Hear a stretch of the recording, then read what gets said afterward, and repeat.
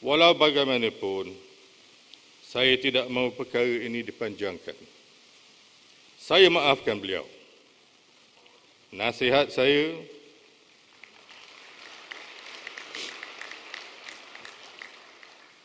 jaga adab dan tutur kata bila bercakap di kalayakan ramai. Kalau hendak beri pandangan kepada saya pun, saya akan dengar tetapi bukan cara yang kurang ajar.